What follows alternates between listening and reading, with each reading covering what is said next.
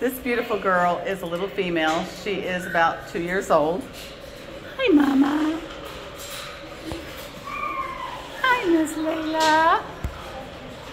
She um, has puppies, but I believe they're all adoption age, and several of them have been, actually all the puppies have been adopted, so now it's just Mama.